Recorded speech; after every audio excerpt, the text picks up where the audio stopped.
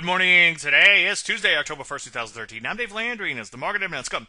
Well, the P's gap lower looked like they were coming glue, but did find a low and rally to close well. Not quite in the plus column, though. Lost over half a percent on the day. Let's take a look at the cash market. As you can see, it's sitting right above its 50-day moving average. Nothing magical about that, but at least it held. At least the buyers were able to step in to this market. A little bit longer term, as you can see, mostly sideways over the last four months or so. We also have these triple top peaks to deal with one day at a time. Now, take a look at the NASDAQ, a little sideways lately. It too had a nice little opening gap reversal. In fact, it almost made it back to the plus column. As you would expect, things are a little mixed with the NASDAQ and mostly an uptrend and just shy of multi year highs at the P's sideways at best. So look to fire off some shorts and big cap issues that might be rolling over and look to put some longs on and technology. No matter what you do, though, make sure you wait for entries. That in of itself can often keep you out of trouble. Any questions, as usual, Dave at DaveLandry.com. I'm Dave Landry, and you heard Market Minute.